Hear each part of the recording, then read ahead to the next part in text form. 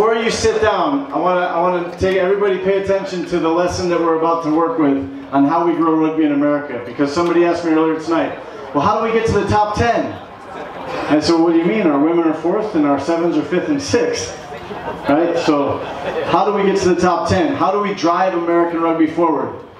This will this will make the point. If you've never played rugby, please sit down. Right?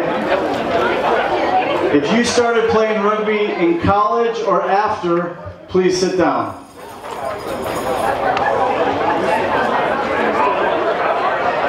If you started playing rugby at the age of 15 or after, please sit down. Right? All right, so now, if you played rugby at the age of 12 or after, when you started, please sit down. Right. So everybody look around, okay? Because I did this with I, I, did this with 600 people three weeks ago, and we're going to get the same result. If you weren't born in America, please sit down.